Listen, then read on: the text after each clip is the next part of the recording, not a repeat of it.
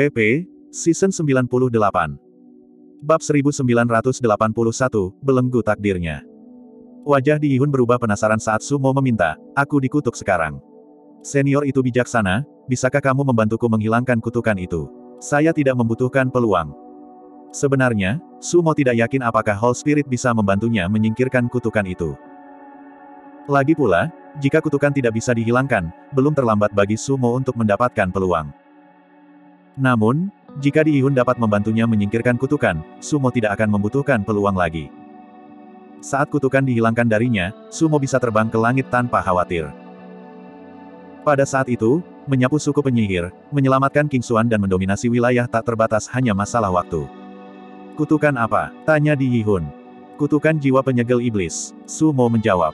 Saya melihat. Di Yihun menganggukkan kepalanya sebelum melanjutkan, ini adalah kutukan tingkat rendah dari suku penyihir. Itu bisa dihilangkan dengan mudah. Petik 2. Betulkah? Mata Sumo langsung cerah dalam kegembiraan. Bisakah roh Aula benar-benar membantunya dengan kutukan itu? Sumo tiba-tiba merasa dibanjiri emosi. Setelah menderita di bawah kutukan selama bertahun-tahun, akan luar biasa jika dia akhirnya bisa menyingkirkannya. Apakah Anda yakin ingin menyingkirkan kutukan dan menyerah pada peluang? Tanya Di Yihun. Untuk seniman bela diri Raja Sage lainnya, Di Yihun tidak akan mematahkan kutukan untuk mereka. Namun, Sang Gaun Hao memiliki kekuatan tempur yang luar biasa dan dia adalah orang pertama sejak zaman kuno yang bersedia dilanggar oleh Di Yihun. Tentu, Sumo menganggukkan kepalanya dengan berat. Tanpa penundaan lebih lanjut, Di Yihun mengulurkan telapak tangannya ke depan dan meraih udara di depan Sumo. Cahaya kabur bersinar dari telapak tangan Di Yihun, sangat misterius dan aneh. Namun, begitu cahaya mengelilingi Sumo, itu menyebabkan jiwa spiritual Sumo bergetar.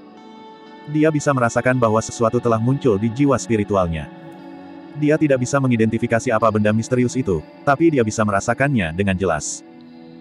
Perlahan, Sumo merasakan hal misterius itu meninggalkan jiwa spiritualnya. Proses ini lambat dan sekitar 10 napas kemudian, jiwa spiritual Sumo tersentak. Perasaan asing yang aneh diekstraksi dari jiwa spiritualnya. Sumo menyipitkan matanya dan melihat segel transparan menandai ukuran jari di depannya. Jika dia tidak menggunakan matanya untuk melihatnya, bahkan indera spiritualnya tidak akan bisa merasakannya. Tanda segel digenggam di tangan Di Yihun sebelum Di Yihun dengan ringan menekannya agar tanda segel itu hancur menjadi gelombang udara yang menyebar ke ruang kosong. Kutukan pada Anda hilang. Di Yihun menatap Sumo dan berkata. Terima kasih senior. Sumo menangkupkan tinjunya dan membungkuk ke arah Di Yihun. Hatinya bergejolak dengan emosi. Dia akhirnya menyingkirkan kutukan itu. Jika bukan karena kutukan, peringkat kultivasi sumo pasti bukan pangkat sage bela diri tahap awal tetapi pangkat sage bela diri tahap tengah. Kamu tidak perlu berterima kasih padaku. Di Yihun menggelengkan kepalanya sebelum berkata, kamu boleh pergi. Dengan itu, Di Yihun mengangkat tangannya dan melambaikannya dengan acuh pada Sumo. Senior, tolong tunggu, Sumo dengan cepat memanggil. Apa itu? Senior, saya punya pertanyaan untuk ditanyakan kepada Anda. Apakah Anda baik-baik saja dengan mendengarkannya? Sumo ragu-ragu bertanya. Berbicara, Di Yihun dengan ringan memerintahkan. Ini tentang penguasa surgawi reinkarnasi. Kata Sumo. Penguasa surgawi reinkarnasi. Wajah Di Yihun langsung mengeras saat dia bertanya, mengapa kamu bertanya tentang penguasa surgawi reinkarnasi? Itu karena dia satu-satunya yang bisa menyelamatkan temanku. Sumo menjawab dengan suara yang dalam sebelum dia berkata, saya ingin bertanya kepada senior apakah penguasa surgawi reinkarnasi akan bereinkarnasi dalam enam tubuh setiap kali dia bereinkarnasi. Betul sekali, wajah Di Yihun menjadi dingin saat dia menganggukkan kepalanya. Apakah setiap reinkarnasi menjadi seseorang yang nasibnya tidak mematuhi aturan surga? Sumo bertanya lagi. Betul sekali. Di Yihun menganggukkan kepalanya lagi saat tatapannya semakin dalam, dengan jelas menunjukkan bahwa roda berputar di kepalanya. Senior, saya akan mengajukan pertanyaan terakhir kepada Anda. Akankah penguasa surgawi reinkarnasi muncul lagi setelah enam tubuh bergabung bersama pada akhirnya? Mata Sumo berbinar saat dia menatap Di Yihun dengan saksama. Betul sekali, Di Yihun menganggukkan kepalanya untuk ketiga kalinya atas pertanyaan Sumo, membenarkan dugaan Sumo. Wah! Sumo menghela napas panjang dan dalam. Dia kemudian mengerti bahwa tebakannya benar. Jika seperti yang diharapkan, bahwa dia adalah salah satu dari enam tubuh penguasa surgawi reinkarnasi, takdirnya, segalanya akan menjadi milik penguasa surgawi reinkarnasi. Apakah kamu salah satu dari enam mayat itu? Tepat pada saat itu, Di Yihun bertanya, matanya berkilat cerah.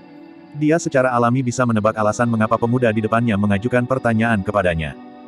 Mungkin, Sumo menghela nafas, tidak memberikan konfirmasi kepada Di Yihun.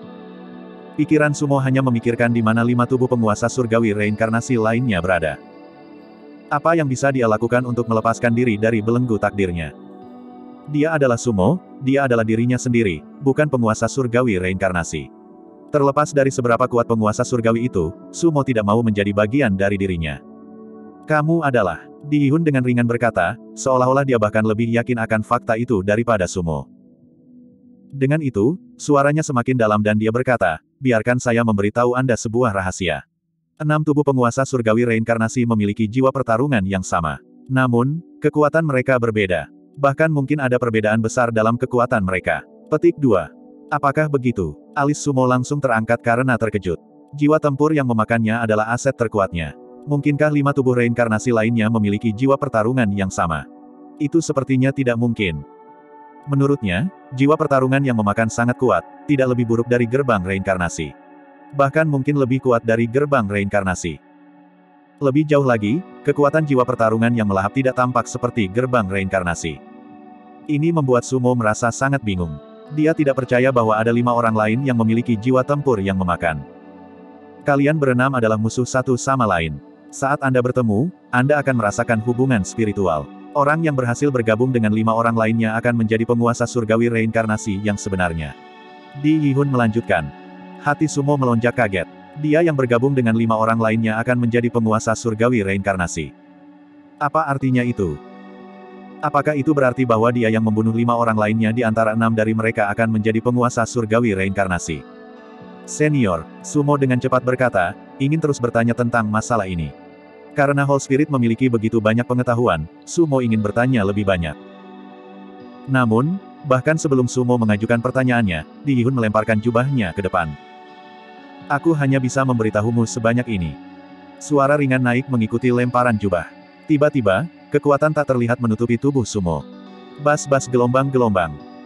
Dalam sekejap, Sumo merasakan bumi di bawahnya bergeser saat ruang berputar di sekelilingnya. Setelah matanya terfokus lagi, Sumo mendapati dirinya berada di luar pilar batu, berdiri di Aula Raja Sage. Bab 1982, Sage bela diri tahap tengah. Saat Sumo berdiri diam di samping pilar batu, hatinya dipenuhi amarah, ketidakpercayaan, kebingungan, dan rasa sakit. Sejak dia bangkit dari dunia cakrawala, mengatasi rintangan tawaran dari suku penyihir di depannya dan melarikan diri dari dunia cakrawala dengan istana cakrawala, dia berpikir bahwa dia bisa mendominasi wilayah itu dengan bakatnya pada akhirnya. Namun, dia tidak pernah membayangkan bahwa takdirnya akan dibatasi oleh belenggu demi belenggu. Penguasa surgawi reinkarnasi. Enam tubuh